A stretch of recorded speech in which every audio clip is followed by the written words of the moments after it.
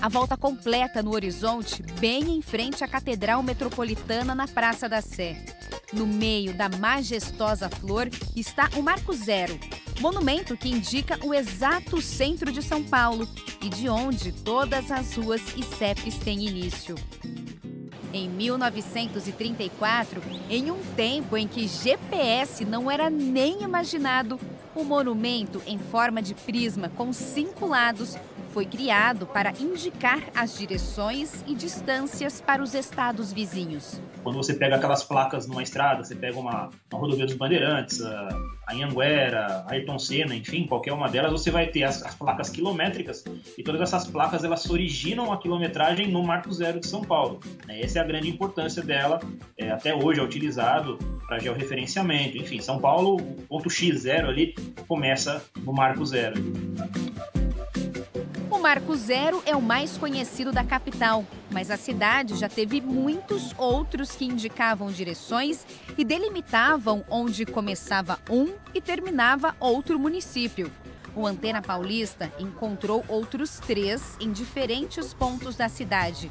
Um deles é este daí, no meio de uma calçada movimentada na Avenida Francisco Morato, zona oeste da capital, Fica bem em frente ao Parque Chácara do Jockey.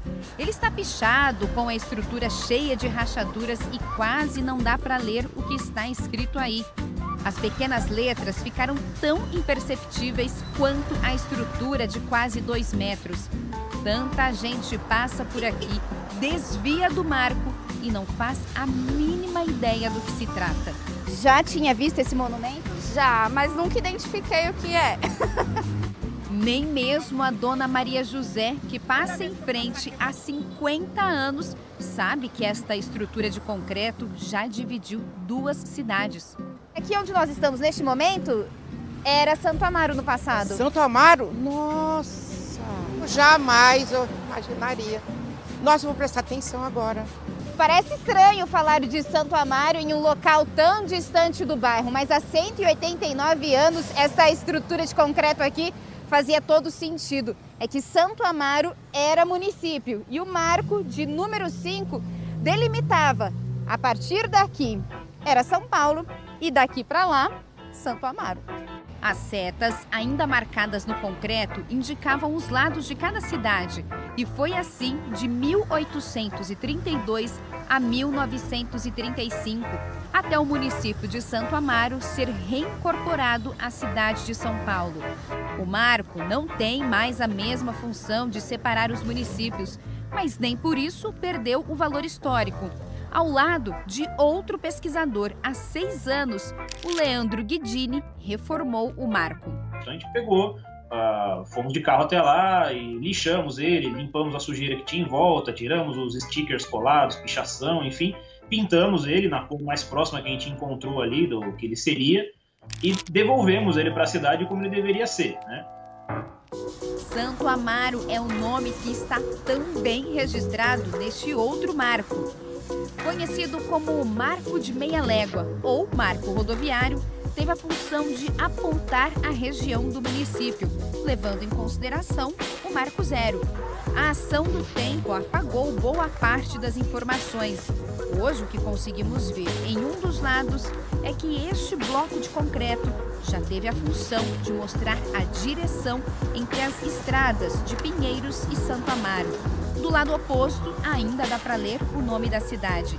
Nas laterais, pouco sobrou das informações.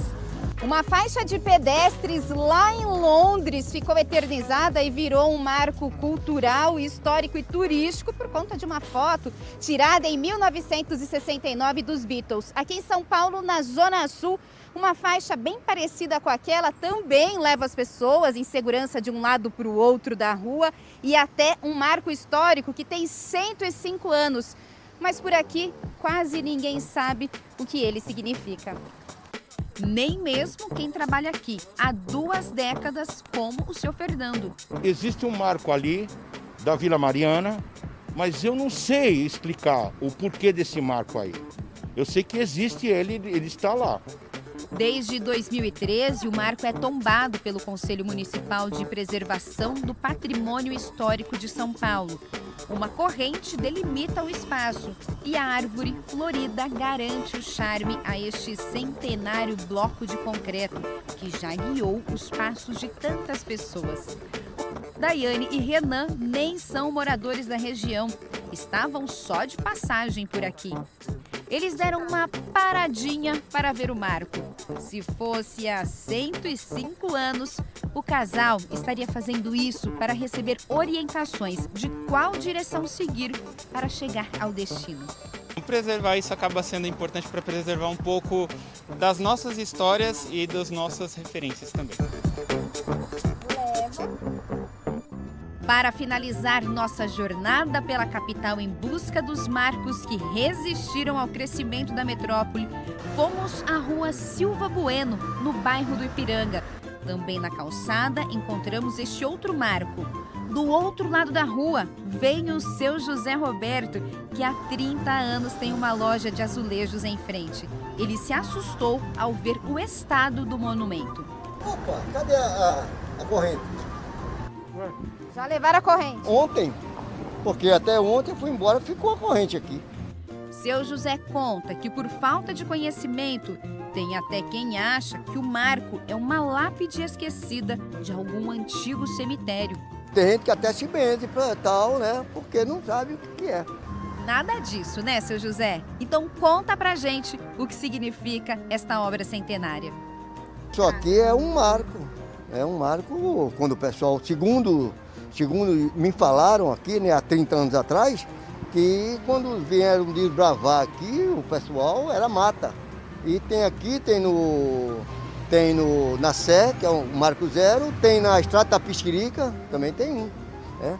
Então, uma, por ser uma coisa histórica, não, não pode estar dessa maneira. Né?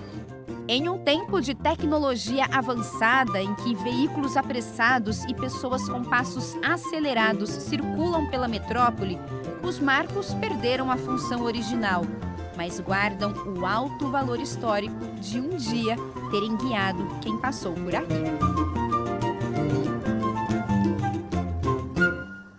Por tudo isso, a gente tem que proteger esses pontos da nossa cidade.